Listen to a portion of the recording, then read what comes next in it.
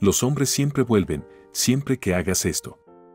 ¿Alguna vez te has preguntado si esa persona que dejó tu vida podría regresar? ¿Qué lleva a una expareja a buscar nuevamente lo que dejó atrás? Este tema es tan antiguo como el amor mismo, y hoy te revelaremos una clave sorprendente.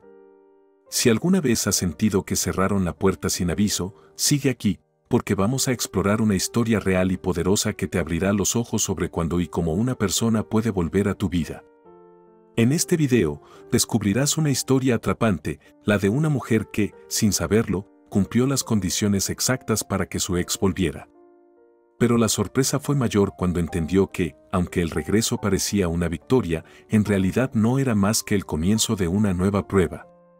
¿Qué fue lo que hizo que esa persona decidiera regresar? ¿Es el regreso realmente un signo de estabilidad o garantía de un amor renovado? Al final de este video, tendrás claridad sobre esto y aprenderás a ver estos regresos con una perspectiva completamente nueva. Lo que te voy a contar aquí no es solo una historia ni una promesa vacía. A través de esta experiencia, entenderás cómo las decisiones y la actitud de nuestra protagonista fueron fundamentales para crear el espacio adecuado que permitió el regreso y cómo lo manejó una vez que él tocó su puerta. Este no es un consejo para recuperar a tu ex, sino una guía práctica para entender qué hace que alguien quiera volver y sobre todo, si eso realmente tiene el valor que solemos darle. Quédate con nosotros y déjate llevar por esta historia, porque después de verla, sabrás identificar si las condiciones están dadas para un regreso. Al analizar esta situación con las enseñanzas de grandes psicólogos, no solo comprenderás qué es lo que puede hacer que esa persona vuelva, sino también el significado profundo de los regresos.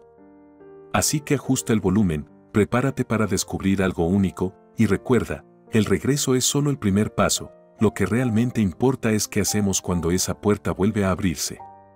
La noche era cálida y densa en la Ciudad de México, y Valeria sentía su corazón acelerarse en el pequeño ascensor mientras subían al cuarto piso. Era como si el aire vibrara de anticipación y ella no podía evitar sonreír al notar cómo Matías la observaba de reojo, con esa mezcla de deseo y nostalgia en la mirada, una expresión que había olvidado cuánto le gustaba. La tenue luz del pasillo los acompañó hasta la puerta de la habitación, no necesitaban palabras, ambos sabían que ese reencuentro había estado esperando demasiado tiempo. Al entrar, Matías cerró la puerta detrás de ellos con un suave clic.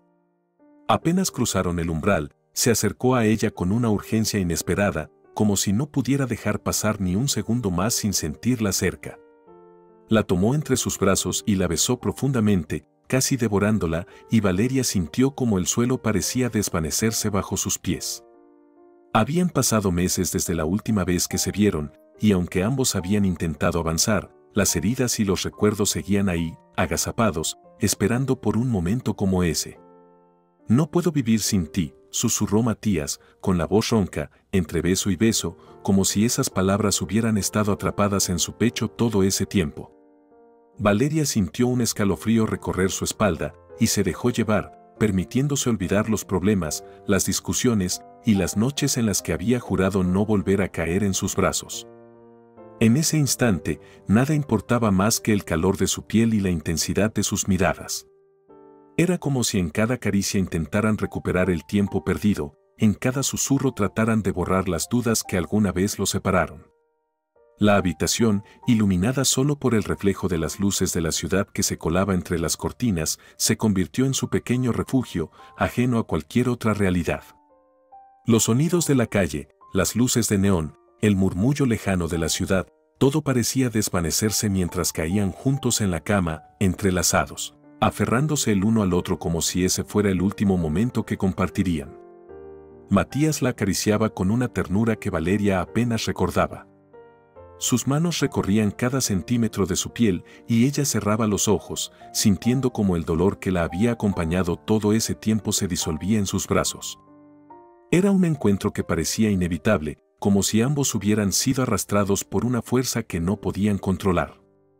Se besaron una y otra vez, sus cuerpos entrelazados en un vaivén que mezclaba desesperación y deseo, hasta que, finalmente, se quedaron en silencio, envueltos en la calidez de la cama y en el leve resplandor de la noche. Valeria, aún con la respiración agitada, se giró hacia él. Matías la miraba en silencio, Y por un instante, el tiempo pareció detenerse. ¿Qué pasará ahora? Preguntó ella, en un susurro cargado de vulnerabilidad y esperanza. Él se quedó en silencio, y la mirada de Matías cambió, como si la pregunta lo hubiera sacudido. Valeria observó cómo esa intensidad con la que la había mirado apenas unos segundos atrás parecía desvanecerse, como si una sombra se interpusiera entre ellos. Y entonces, él respondió algo que, en ese mismo instante, hizo que el aire se congelara en la habitación. ¿Qué fue lo que dijo Matías que la hirió tanto? ¿Por qué sus palabras, después de una noche de pasión y ternura, le dolieron como ninguna otra cosa? Estas preguntas aún flotaban en el aire de aquella habitación silenciosa. Pero ¿o qué? No nos adelantemos, volvamos al inicio. Valeria y Matías se conocieron una tarde de sábado en un parque. El aire era fresco y el sol se filtraba entre las ramas de los árboles. Ella estaba sentada en una banca, leyendo un libro, cuando él tropezó torpemente cerca de ella. Levantó la mirada, y allí estaba él, con una sonrisa ligeramente avergonzada y los ojos llenos de una chispa divertida. ¿Todo bien? preguntó Valeria, conteniendo una sonrisa.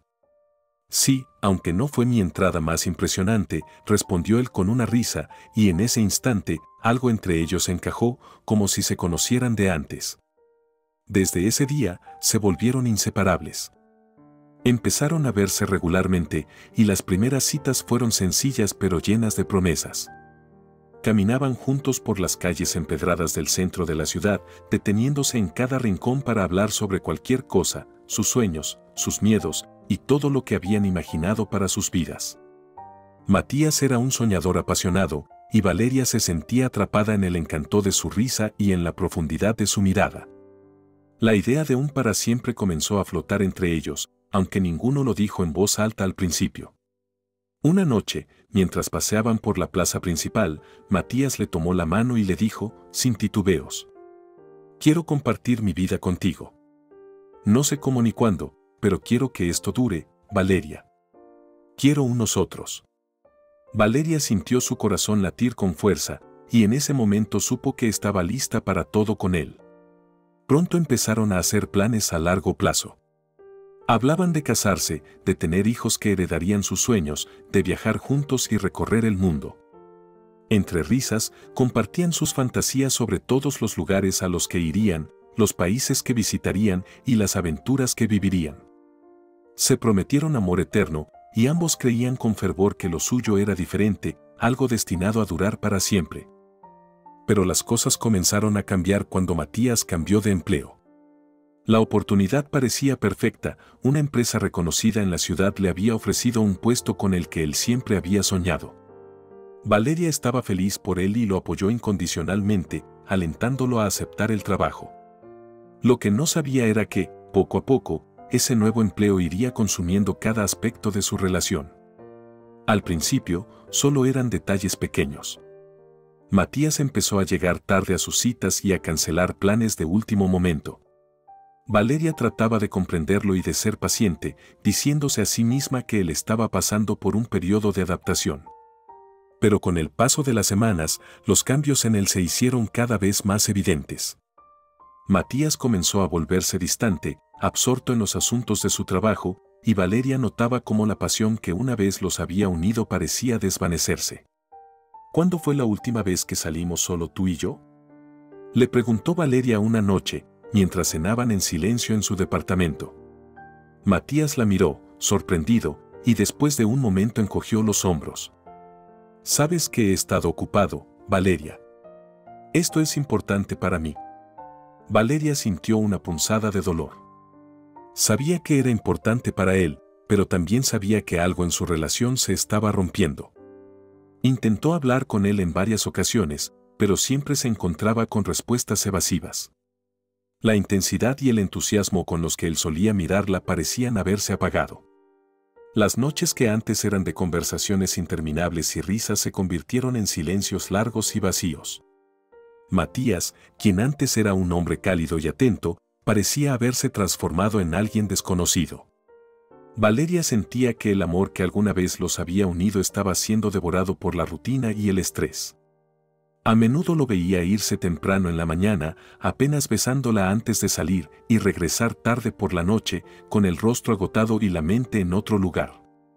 Un día, decidida a intentar salvar lo que quedaba de su relación, Valeria organizó una escapada de fin de semana.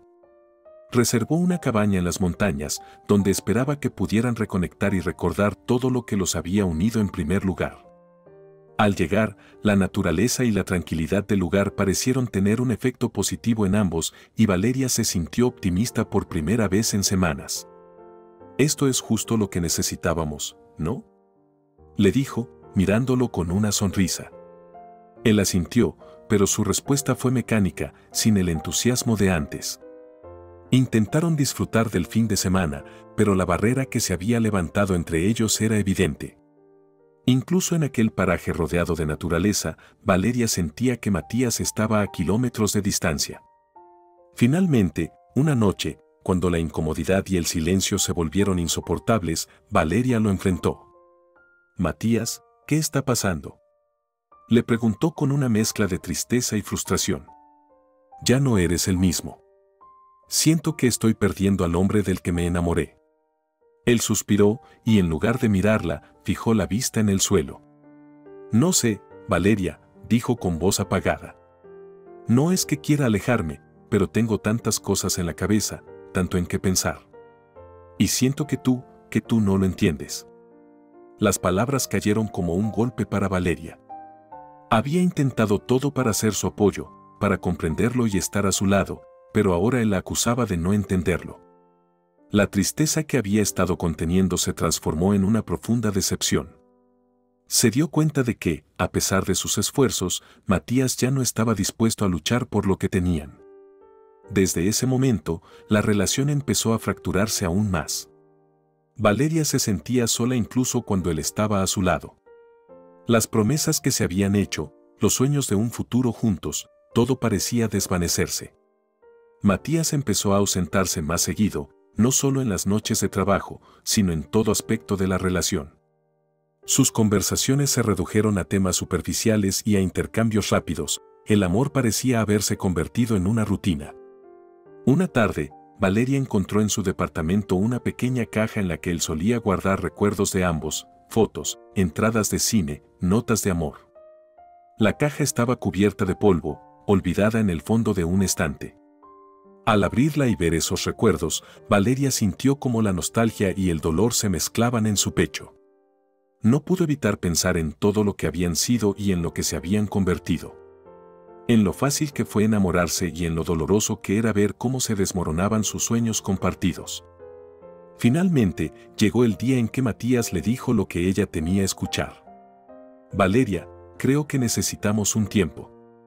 No sé si estoy listo para lo que planeamos. El silencio que siguió a esas palabras fue ensordecedor. Ella no supo qué decir. Sintió que el suelo bajo sus pies desaparecía y que todo lo que había construido a su lado se desmoronaba en cuestión de segundos. La relación que alguna vez estuvo llena de promesas de eternidad y amor inquebrantable ahora se deshacía frente a ella. Matías la dejó con un último abrazo frío, una mirada vacía y una puerta que se cerró tras él. Valeria, de casi 40 años, miraba el reflejo en el espejo de su baño y apenas se reconocía. El dolor de la ruptura con Matías la había dejado destrozada y los días parecían transcurrir en una bruma interminable de tristeza y soledad. Antes había tenido sueños de amor, de una relación duradera y, en algún momento, de formar una familia junto a él. Pero ahora, lo único que veía al mirar su reflejo eran los ojos enrojecidos y los rastros de maquillaje corrido. Su rímel, que se mezclaba con las lágrimas, dejaba manchas oscuras en sus mejillas y el desorden en su cabello apenas lograba importarle. Cada mañana, Valeria se obligaba a levantarse y a enfrentar el mundo, pero el esfuerzo era agotador. Iba a su trabajo en una oficina pequeña y anodina, donde apenas intercambiaba palabras con sus compañeros. La ropa que usaba ya no mostraba el esmero y la alegría que alguna vez tuvo, ahora simplemente tomaba lo primero que encontraba en el armario. Los días en los que se presentaba en la oficina con el cabello sin peinar y los ojos hinchados se habían vuelto tan frecuentes que ya nadie le preguntaba si estaba bien, todos lo asumían, pero nadie sabía cómo ayudarla. Al final de una larga jornada, Valeria regresaba a su pequeño departamento. Cerraba la puerta detrás de ella y, por fin, se permitía llorar sin contención. Sus arrebatos de llanto eran intensos y sollozaba en el sofá, acurrucada como una niña. A menudo se repetía en voz baja, con una mezcla de dolor y desesperación. ¿Por qué, Matías? ¿Por qué me dejaste? Sus palabras se perdían en el vacío de su hogar y el eco de su propia voz la hacía sentir aún más sola. Las noches se volvieron un tormento. La cama se sentía inmensa y fría, y su mente la traicionaba, trayendo imágenes de los momentos felices que habían compartido. Recordaba sus promesas, las palabras dulces, las noches en las que él la abrazaba hasta quedarse dormidos, y el dolor la aplastaba una y otra vez. Pasaban los días y su tristeza se transformó en un vacío insoportable, una especie de síndrome de abstinencia emocional. Valeria extrañaba a Matías de una forma que nunca había experimentado. Por las noches, su mano temblaba al marcar su número, pero siempre colgaba antes de que la llamada pudiera completarse. Cada intento fallido la dejaba aún más devastada, y sus pensamientos la atormentaban, llenándola de dudas y autocríticas. Una noche, después de pasar el día llorando sin consuelo, decidió intentar llenar ese vacío con comida. Abrió la nevera y, sin pensar en las calorías o en el malestar que le provocaría después, devoró todo lo que encontró. Palomitas de maíz, chocolates, hasta las sobras de una pizza de la semana pasada. La comida le daba una satisfacción efímera, pero apenas terminaba, el sentimiento de culpa la envolvía. Con el estómago pesado y una mezcla de tristeza y arrepentimiento, volvía al sofá y continuaba llorando. Otro día, con la desesperación como único impulso, decidió salir con un hombre que había conocido hacía poco en una reunión de amigos. Él parecía amable, interesado en ella, y Valeria pensó que quizás un nuevo amor podría ayudarla a olvidarse de Matías. Aceptó salir con él y en un intento de recuperar su dignidad y autoestima, se arregló lo mejor que pudo. Sin embargo, sus ojos aún mostraban un cansancio que ni el maquillaje lograba ocultar. La cita fue agradable al principio. Valeria trató de sonreír y de concentrarse en lo que su acompañante decía, pero en el fondo, todo le parecía ajeno. En algún momento de la noche, él la tomó de la mano y le sonrió, y Valeria sintió un golpe de tristeza. Sin poder evitarlo, su mente la llevó de regreso a los recuerdos con Matías. La comparativa era inevitable y un nudo de emociones amargas comenzó a formarse en su estómago. Decidieron ir a su departamento para tomar una última copa, pero apenas cerraron la puerta, Valeria sintió el impulso de llorar. Su acompañante intentó acercarse y besarla, pero Valeria no pudo resistir la ola de tristeza que la invadía. Se apartó de él y, sin control, comenzó a llorar. Su llanto era tan intenso y desgarrador que el hombre, sorprendido y confundido, no supo qué hacer. Perdóname, murmuró Valeria, intentando contener las lágrimas mientras se cubría el rostro con las manos. Es que, no puedo. Aún estoy, aún no lo supero. El hombre la miró con empatía y se acercó para ofrecerle un abrazo. Aunque la intención era reconfortarla, Valeria sintió una enorme vergüenza y tristeza. En su mente, cada segundo que pasaba junto a él la hacía sentirse más frágil y vulnerable. No tienes que disculparte, Valeria, le dijo, intentando aliviar su sufrimiento. Todos hemos pasado por eso alguna vez. Pero esas palabras no le aliviaron. En lugar de eso, la hicieron sentir más pequeña, como si su dolor fuera algo trivial que cualquiera podría superar. Se apartó de él, murmurando una disculpa, y lo acompañó a la puerta, apenas capaz de sostenerle la mirada. Cuando él se fue, Valeria se quedó sola una vez más, rodeada de su tristeza y de los recuerdos que la atormentaban. Las semanas transcurrieron y su vida se convirtió en una rutina de trabajo, llanto y agotamiento emocional. Había perdido peso, pues apenas comía y cuando lo hacía, se atiborraba de comida chatarra para llenar ese vacío que parecía infinito. En el trabajo, algunos compañeros se le acercaban con preocupación, pero ella evitaba sus miradas y sus preguntas, encerrándose en su propio mundo de dolor. El esfuerzo de aparentar que estaba bien la dejaba exhausta y muchas veces regresaba a casa con el rímel corrido, el cabello desordenado y la ropa arrugada. Una tarde, sentada en la cama y mirando el techo, Valeria sintió que no podía seguir así. Recordaba las palabras que le había dicho Matías, las promesas que había roto, y se preguntaba si alguna vez podría superarlo. La idea de ser la tía solterona y pobre la aterrorizaba, y ese miedo la hacía cuestionarse si alguna vez lograría encontrar el amor nuevamente. Intentó escribir en su diario, tratando de vaciar su dolor en palabras, pero incluso eso le resultaba difícil. Sentía que el tiempo se detenía y que su vida se había convertido en una sucesión de días sin sentido. Al final, se acurrucó en la cama, abrazando la almohada, y dejó que las lágrimas fluyeran una vez más. El dolor de la pérdida, la soledad y el sentimiento de fracaso la ahogaban. Sabía que necesitaba encontrar una salida, pero en ese momento, el vacío parecía demasiado grande y la oscuridad demasiado profunda. Valeria sentía que su vida se desmoronaba frente a sus ojos, sin poder detener la caída. Tras meses de dolor, noches de insomnio y días grises sin fin, su rendimiento en el trabajo fue decayendo lentamente hasta volverse insostenible. Cada mañana llegaba tarde, sin energías, con la misma ropa arrugada de días anteriores y el maquillaje corrido. La desidia y el abandono personal se reflejaban en su trabajo, y no pasó mucho tiempo antes de que su jefe, visiblemente incómodo, la llamara a su oficina. Valeria, lamento mucho tener que decirte esto, pero ya no podemos seguir contando contigo. La empresa necesita a alguien que esté al 100%, y tú, su voz se desvaneció, dejando entrever la incomodidad de aquel momento. Valeria asintió, sin siquiera intentar defenderse. Apenas podía mirarlo a los ojos. Agarró su bolso y salió de la oficina con una mezcla de resignación y vergüenza.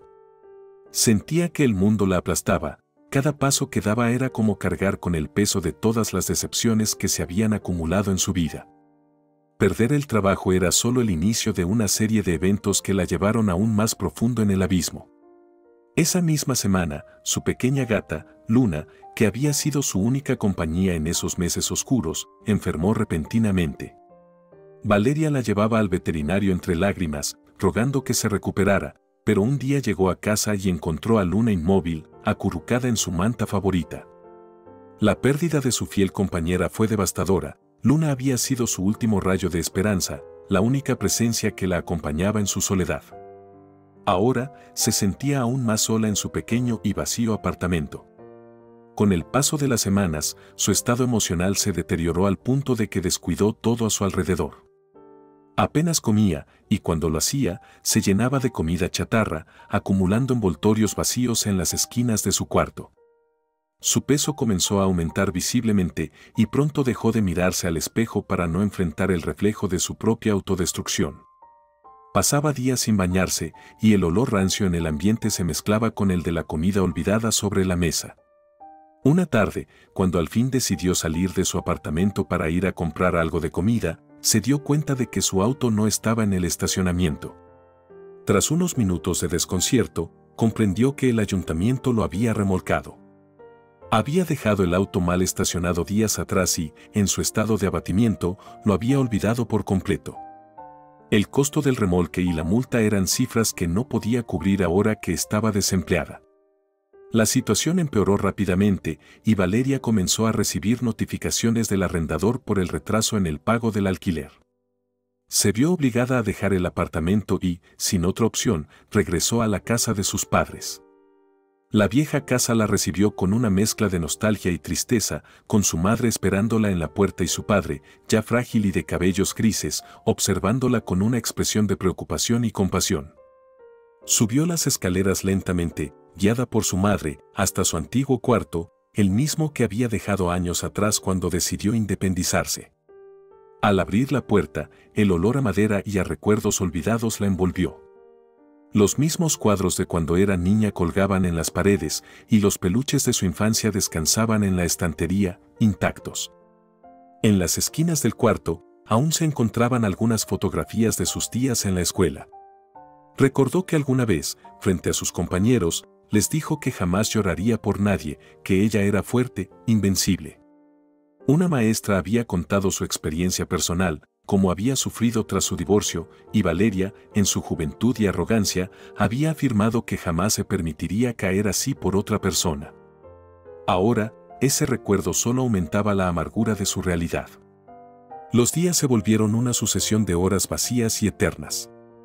Su madre le llevaba comida al cuarto, platos llenos de sopa, guisos, pan recién hecho, pero Valeria apenas los tocaba. La comida se quedaba sobre la mesa y el tiempo la descomponía, atrayendo insectos y gusanos que solo añadían un toque más oscuro a su entorno. El olor era insoportable, pero ella apenas lo notaba, perdida en el dolor de su propia tristeza. Valeria pasaba horas sentada en la cama, mirando por la ventana, observando a la gente pasar sin que su mente lograra concentrarse en nada. Los recuerdos la atormentaban y las lágrimas brotaban de sus ojos sin previo aviso, empapando el papel higiénico que amontonaba en el cuarto. Las noches se convirtieron en pesadillas constantes, a menudo se despertaba en la madrugada, llorando y casi gritando. En esas ocasiones, su padre, con paso lento y dolorido, se acercaba a su cuarto y la abrazaba en silencio, ofreciéndole una paz momentánea que se desvanecía tan pronto como él regresaba a su propia cama. Su salud mental comenzó a deteriorarse de manera alarmante y llegó un punto en el que sus padres, desesperados, decidieron llevarla al hospital. Al ingresar, Valeria apenas tenía fuerzas para protestar. Su piel estaba pálida y su cabello enredado y grasiento caía en mechones desordenados alrededor de su rostro. El equipo médico le administró calmantes y comenzó un tratamiento para estabilizarla, pero la sensación de vacío y desesperanza permanecía, como una sombra que la seguía a todas partes. En su estado de delirio, Valeria recordaba fragmentos de su vida, como si fueran escenas borrosas de una película antigua. Recordaba a Matías, su risa, las promesas de amor y sentía que el dolor se volvía a clavar en su pecho como la primera vez. Se aferraba a la cama, como si al sujetarse de las sábanas pudiera retener algo de esa antigua vida que ahora parecía tan lejana. Días después, mientras su madre la acompañaba en la sala de espera del hospital, Valeria apenas podía articular palabras. Había perdido tanto peso que la ropa le colgaba y su rostro era una máscara de cansancio y tristeza. Sus padres, agotados, se miraban entre sí con preocupación, sin saber cómo ayudarla. Ella había tocado fondo, y no sabían si su hija volvería a ser la misma. Valeria, en la quietud de la noche, escuchaba el leve pitido de las máquinas del hospital. Su mente divagaba entre los recuerdos y el presente, entre el amor perdido y la desesperanza que la envolvía. Sabía que su vida había cambiado de una forma irreparable y el vacío en su corazón era tan profundo que sentía que jamás podría llenarse. Después de tocar el fondo más oscuro de su vida, Valeria se encontró una mañana en una reunión de neuróticos anónimos, en medio de un grupo de desconocidos que compartían historias de dolor, traumas y anhelos de cambio. Se sentía fuera de lugar, con los ojos todavía hinchados de tantas noches en vela, con el corazón pesado y un resentimiento latente que amenazaba con estallar. Los doce pasos que todos en el grupo recitaban le parecían tan lejanos, tan insuficientes para sanar su herida, que la ira la invadía. Una tarde, incapaz de contenerse, explotó. Esto no sirve de nada. ¿De verdad creen que recitar estos pasos va a arreglar nuestras vidas? exclamó con una furia que sorprendió a todos. Hubo murmullos y miradas incómodas, pero ella continuó, desahogando su amargura con palabras duras, insultando al grupo y cuestionando su utilidad. Al final, salió casi a la carrera, furiosa y avergonzada, pero, para su sorpresa, algo en su interior la llevó de regreso unos días después. Sabía que no tenía otra opción, necesitaba respuestas, necesitaba desesperadamente encontrar algo que aliviara el dolor que llevaba a cuestas. Con el paso del tiempo, la terapia en el grupo comenzó a ofrecerle pequeños consuelos. Las historias de los demás le mostraban que no estaba sola, que otros también sufrían y que, en medio de su lucha, había un rayo de esperanza. Poco a poco, Valeria empezó a abrirse a nuevas prácticas, a lecturas que le ofrecieran algo de paz. Se encontraba hojeando libros que antes habría descartado sin pensarlo. Wayne Paulo Coelho y otros autores comenzaron a poblar su mesa de noche. Cada lectura era una pequeña dosis de consuelo, una ventana hacia una comprensión nueva del mundo y de sí misma. Una mañana, después de leer una frase que resonó profundamente en ella, Valeria sintió un impulso que hacía tiempo no experimentaba. Decidió salir a correr. Se calzó unas zapatillas viejas y, con un nudo en el estómago, comenzó a correr por el parque cerca de casa.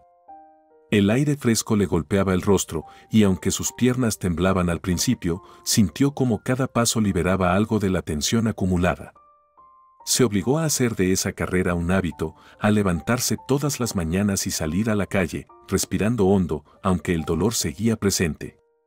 En el parque, encontró un pequeño anuncio sobre un curso de remo en kayak en un lago cercano. Movida por la curiosidad y el deseo de desafiarse a sí misma, decidió inscribirse.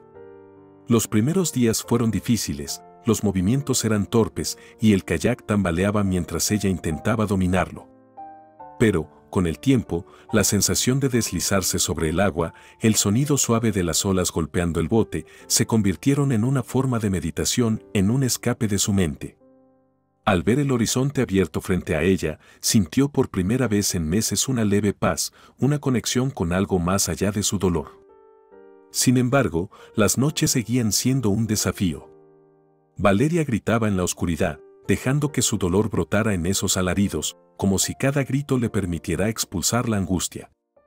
Se escuchaba a sí misma en medio de la noche, gritándole a la vida, a sus recuerdos, a esa versión de sí misma que parecía haberse perdido en el camino. El grito era tan profundo y visceral que, a veces, se sentía aliviada y otras, simplemente agotada. Pero cada mañana, pese a todo, volvía a levantarse, a enfrentarse al día con lo poco que le quedaba.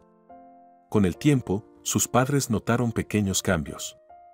Su madre la veía levantarse temprano y cuando no estaba en el parque o en el lago, Valeria la ayudaba en la tienda de comestibles. El trabajo, aunque monótono, le daba una rutina que necesitaba. Ordenar productos en los estantes, atender a los clientes, escuchar las historias de los vecinos que compraban en la tienda, se convirtió en una especie de terapia silenciosa. En esas horas, Valeria aprendió a apreciar los momentos simples y su mente comenzó a encontrar pequeños espacios de calma. Un día, en la librería del barrio, encontró un libro de Rolando Goicochea, un consejero matrimonial muy recomendado. Valeria se sintió intrigada y decidió inscribirse en una de sus conferencias. La primera sesión fue reveladora, escucharlo hablar sobre el valor de la autoestima, sobre la importancia de reconocer el propio valor antes de buscarlo en otros, fue como un golpe directo a su corazón. Empezó a comprender que la respuesta a su dolor no estaba en alguien más, sino en ella misma, en reconstruir la relación consigo misma, en aprender a amarse y respetarse. Semanas después, continuaba asistiendo a las conferencias y leyendo con fervor, anotando cada lección en un pequeño cuaderno. Su semblante comenzó a cambiar, su piel recobraba un leve brillo, sus ojos parecían menos cansados, y poco a poco, el peso que había ganado en sus días oscuros empezó a disminuir. Las ansias de comida desaparecieron y, en su lugar, encontró la satisfacción en los logros cotidianos.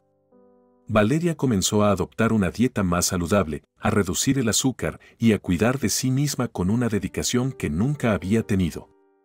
Sus padres la observaban con una mezcla de alivio y orgullo. La veían levantarse por las mañanas con una energía renovada, decidida a seguir adelante, aunque el dolor seguía presente. Su madre la abrazaba en silencio al verla regresar del lago, con el rostro aún mojado por el agua y los ojos brillantes de esfuerzo y satisfacción. Cada noche, cuando el silencio invadía la casa, Valeria aún lloraba, pero esas lágrimas eran distintas. Ya no eran el desahogo desesperado de un alma rota, sino el reflejo de una tristeza que comenzaba a transformarse en aceptación. Las heridas seguían ahí, pero el dolor iba cediendo, dejando espacio para la reconstrucción, para la posibilidad de sanar y continuar. Poco a poco, Valeria empezó a encontrar su lugar en el mundo nuevamente. El proceso de recuperación de Valeria fue lento, pero con cada paso que daba, sentía que algo dentro de ella se fortalecía. Sus padres, que habían sido testigos de su peor momento, la apoyaban con devoción, aunque su preocupación no se desvanecía del todo. Ambos tenían un rencor silencioso hacia Matías, y era evidente que solo escuchar su nombre los llenaba de ira. Su madre, en particular, evitaba cualquier mención de él, como si su presencia misma fuera una amenaza para la estabilidad que su hija iba recuperando poco a poco. Con el apoyo de sus padres y las conferencias de Rolando Goicochea, Valeria empezó a sanar. Las palabras de Rolando la impulsaban a mirarse de nuevo con respeto y dignidad, a recordar su propio valor, y poco a poco comenzó a asimilar lo que había perdido en esa relación, su paz, su identidad y sus sueños. Cada lectura de Walter Rizzo, cada audio motivacional que sus amigos le compartían y cada sesión en el grupo de neuróticos anónimos le ofrecían un poco de claridad, un nuevo fragmento de la vida que deseaba recuperar. Cada día, Valeria caminaba por las calles del barrio, observando con otros ojos el mundo que la rodeaba, como si todo lo que la rodeaba fuera un recordatorio de lo que aún le quedaba. Durante esas caminatas, a menudo se detenía a reflexionar sobre todo lo que había perdido por aferrarse a una relación que, ahora lo comprendía, nunca le había ofrecido lo que realmente merecía. Esa conciencia, dolorosa pero liberadora, la impulsó a hacer una promesa solemne consigo misma, jamás volvería a permitirse caer de esa manera, jamás dejaría que alguien más la hiciera sentir menos. Con esa determinación, Valeria se sumergió por completo en su proceso de recuperación. Se inscribió en nuevos cursos, reanudó sus rutinas de ejercicio y volvió a interesarse en sus hobbies. Incluso se apuntó en una clase de yoga, donde aprendió a respirar y a calmar su mente en momentos de ansiedad. Sus padres la observaban con orgullo, notando cómo sus ojos volvían a brillar y cómo la sonrisa volvía a su rostro, aunque de una manera distinta, con una serenidad que antes no tenía. Las semanas se convirtieron en meses, y Valeria finalmente comenzó a sentirse estable. Había recuperado su confianza y se sentía dueña de su vida, de sus decisiones. Fue en ese preciso momento de estabilidad cuando, un día, su teléfono sonó y vio un número desconocido. Una sensación familiar se apoderó de ella, de alguna manera, sabía que era él. Matías. Con el corazón latiendo fuerte, rechazó la llamada sin pensarlo dos veces. Los días que siguieron estuvieron llenos de insistentes llamadas y mensajes. Matías la buscaba, le enviaba textos, le pedía hablar solo un momento. Valeria, en un acto de autocuidado, ignoraba cada intento de contacto. A pesar de los sentimientos que aún guardaba en algún rincón de su corazón, sabía que responderle significaría abrir una puerta que ya había cerrado. Sus amigos y familiares la alentaban a mantenerse firme, algunos incluso la reprendían por considerar la posibilidad de hablar con él. No le debes nada, Valeria, le decían sus amigas. Ya te hizo suficiente daño. No vuelvas a abrir esa herida. Pero la insistencia de Matías, los mensajes y la presión de sus propios pensamientos la llevaron a un punto de quiebre. Tras semanas de resistencia, Valeria, al final, accedió a verlo. Decidió enfrentarlo y escuchar lo que tenía que decir, segura de que esta vez ella mantendría el control de la situación. La escena inicial se repitió, una habitación de hotel, el reencuentro cargado de pasión y nostalgia. Fue un encuentro lleno de emociones intensas, un momento en el que ambos parecían intentar recapturar lo que alguna vez tuvieron. Pero esta vez, cuando la intensidad disminuyó, Valeria no dejó que el silencio permaneciera le hizo la pregunta que sabía debía hacer. Matías, ¿qué va a pasar ahora? Matías, quien hasta ese momento había mostrado una euforia irrefrenable por estar con ella, se quedó callado, mirando hacia el techo, como si buscara una respuesta en las sombras. Finalmente, rompió el silencio con una respuesta que hizo que el estómago de Valeria se contrajera. Valeria, no me presiones. Yo, Simplemente tenía esta necesidad de verte, de estar contigo otra vez. Pero no estoy listo para nada serio. Las palabras de Matías cayeron como un balde de agua fría. Valeria sintió una mezcla de furia, tristeza y decepción. Todo lo que había creído, la esperanza que había albergado, se desmoronó en un instante. Matías solo había buscado satisfacer su propio deseo, sin considerar las consecuencias para ella. La escena quedaba suspendida en un silencio desgarrador. Matías, incapaz de entender el dolor que acababa de provocarle, la miraba, mientras Valeria procesaba lo que acababa de escuchar, sintiendo como una llama de determinación empezaba a encenderse en su interior. Lo que vendría después sería un análisis profundo de lo que realmente significaba ese reencuentro y de cómo sus decisiones finalmente la llevarían a un punto de no retorno en su vida. Al final de este análisis, descubriremos lo que realmente sucedió con Valeria. Haremos aquí un paro analítico para examinar en profundidad lo que realmente sucedió en la historia de Valeria y por qué la ruptura con Matías dejó cicatrices tan profundas en su vida. Nos basaremos en aportes psicológicos de figuras clave como Freud, Walter Rizzo, Rolando Goicochea y otros expertos que han explorado el impacto emocional de las relaciones y los mecanismos detrás del dolor y la dependencia emocional. Este análisis no solo iluminará el proceso de caída y recuperación de Valeria, sino que también explicará el fenómeno del síndrome de abstinencia en las relaciones y por qué Matías finalmente volvió, aunque con intenciones ambiguas y sin compromiso real. Para entender por qué Valeria se derrumbó de manera tan devastadora tras la ruptura, debemos considerar que su relación con Matías se había convertido en el centro de su identidad y estabilidad emocional. Como explicaba Freud, las relaciones que desarrollan un vínculo de dependencia emocional intensa suelen configurar la base del ego del individuo. Es decir, Valeria había unido su autoestima y sentido de propósito a su vida con Matías, y la ruptura representó, en su mente, la pérdida de todo ese soporte. Walter Rizzo, en su libro Amar o Depender, señala que cuando una persona depende emocionalmente de otra para sentirse completa, la pérdida no se vive solo como una separación, sino como una especie de muerte emocional. La dependencia emocional genera una adicción a la pareja y, en el caso de Valeria, la relación con Matías no era solo amor, era un refugio y una forma de validación. Este tipo de dependencia es especialmente destructiva porque, como Rizzo enfatiza, implica un vínculo asimétrico en el cual uno de los miembros se convierte en el soporte emocional del otro. En este contexto, el dolor de Valeria era inevitablemente profundo, ya que, al perder a Matías, perdió también esa parte de su identidad en la que se había refugiado durante tanto tiempo.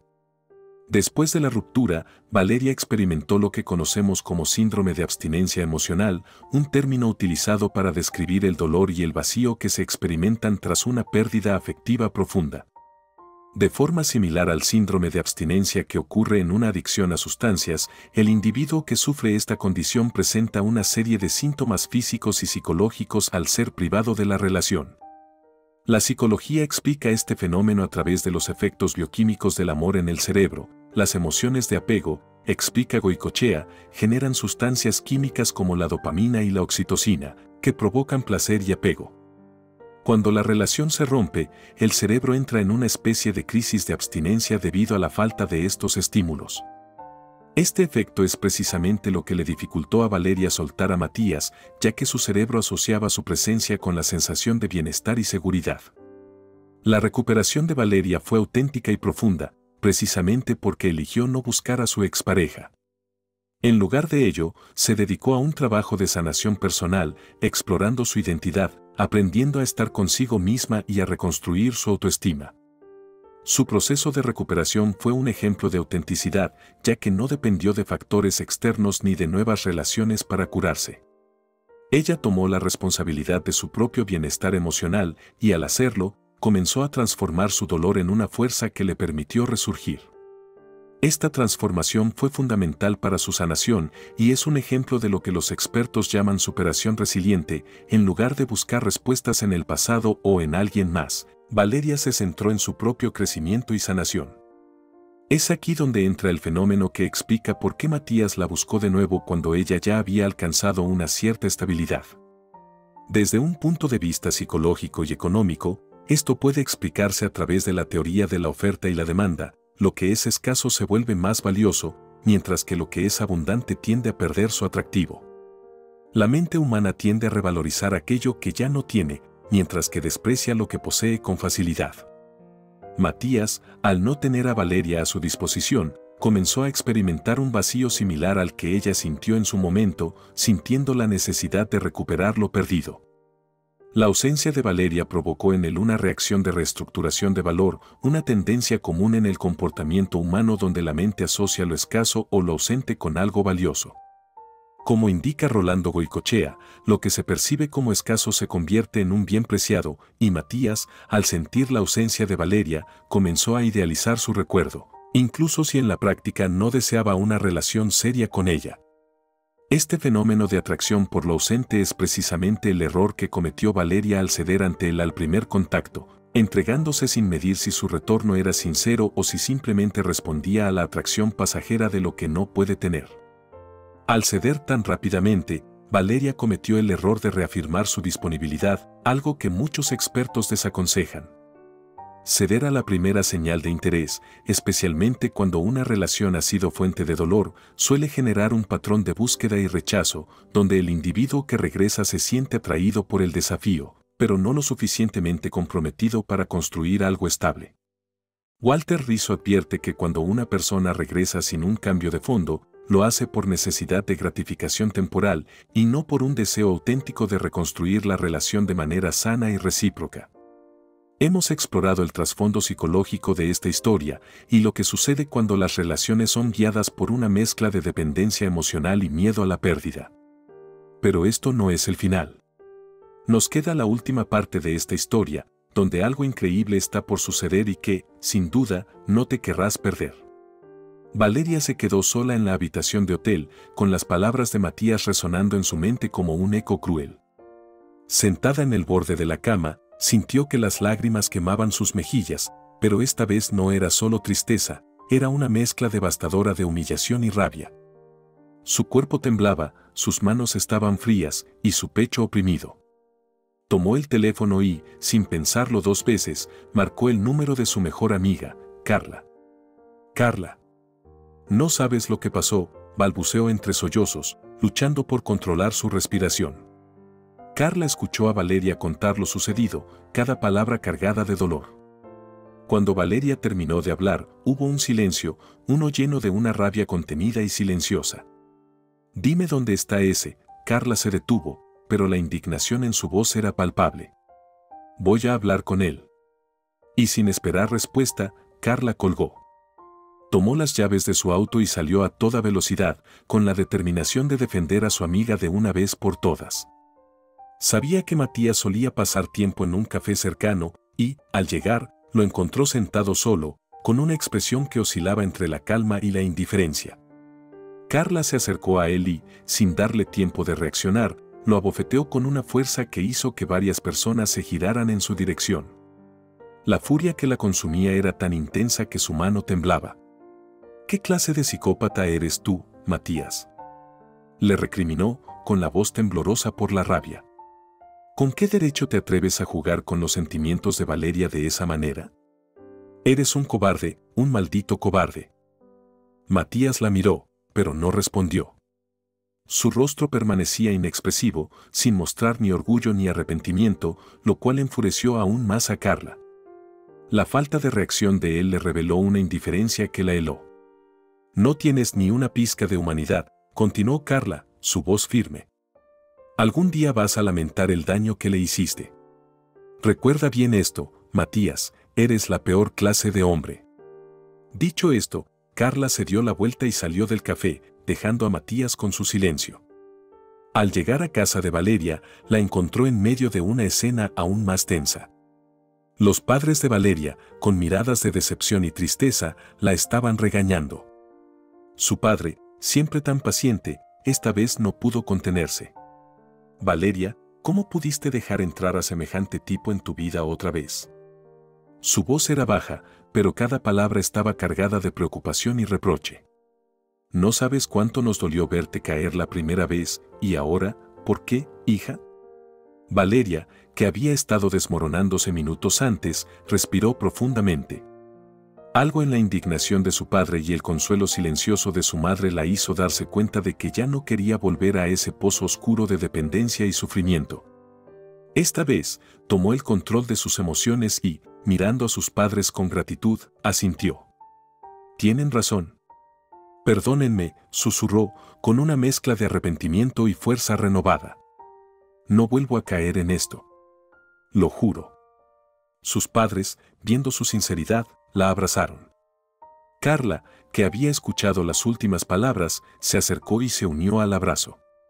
Esa noche, rodeada de las personas que realmente la querían, Valeria sintió que finalmente podía dar un paso adelante. La traición y el dolor aún estaban allí, pero ahora había algo diferente en su corazón, una resolución firme, una promesa hecha a sí misma de que nunca más permitiría que alguien jugara con sus sentimientos. Esa noche, Valeria reflexionó profundamente. Entendió algo que hasta entonces le había sido esquivo, sí, todos vuelven, pensó, recordando todas esas palabras que alguna vez había escuchado sobre los regresos de las esparejas. Pero no siempre vuelven por las razones correctas. Matías había regresado, sí, pero no porque la amara ni porque quisiera un futuro juntos. Había vuelto porque la comodidad de lo conocido le dio una satisfacción momentánea, porque la ausencia le dio un falso valor, pero en el fondo, solo había regresado para lastimarla nuevamente, para darle el golpe final. Esa noche, Valeria compartió una reflexión consigo misma. Es cierto, a veces vuelven, hombres y mujeres, pero no lo hacen para sanar ni para enmendar. Regresan porque no soportan la idea de estar solos, de enfrentar su propio vacío. Y cuando una persona regresa por egoísmo, solo es para repetir el ciclo de daño. Yo, por querer encontrar el amor, me perdí a mí misma. Nunca más. Hoy elijo el amor propio, porque he entendido que nadie puede llenar un vacío que solo yo puedo sanar. Con el paso de los días, esa promesa se convirtió en su mantra. Empezó a trabajar en ella, recuperando poco a poco su vida. Consiguió un nuevo empleo, uno en el que sus compañeros la apreciaban por su profesionalismo y su renovada energía. Se levantaba temprano, desayunando junto a sus padres, compartiendo risas que pensó que había perdido para siempre. Sus días ahora estaban llenos de paz, rodeados de las personas que realmente la querían. Un año después, Valeria era una persona renovada. La noche en que decidió cerrar definitivamente la puerta a su pasado fue el inicio de su verdadera sanación. En un desayuno tranquilo con sus padres y su mejor amiga, conversaba sobre futuros viajes y nuevos proyectos, sus ojos brillaban con una confianza que no había tenido antes. Esta vez, no dependía de nadie para ser feliz, se había encontrado a sí misma, y eso la hizo más fuerte de lo que jamás imaginó. Había salido del pozo, no porque alguien la rescatara, sino porque se dio cuenta de que el amor propio era el único amor que podía realmente salvarla. Analicemos lo que realmente sucedió en esta historia, desentrañando el comportamiento de Matías y cómo la relación de Valeria se vio afectada por un fenómeno común pero peligroso, el efecto de escasez y abundancia en las relaciones. La frase te pierden y luego te necesitan, pero no te aman es la esencia de esta dinámica. Cuando algo o alguien se vuelve escaso en la vida de una persona, su valor aumenta en la percepción de quien lo pierde, aunque ese valor no siempre se base en el verdadero amor, respeto o compromiso. En cambio, esta valoración suele surgir de una reacción impulsiva ante la pérdida, una forma de satisfacer el ego o de llenar un vacío momentáneo.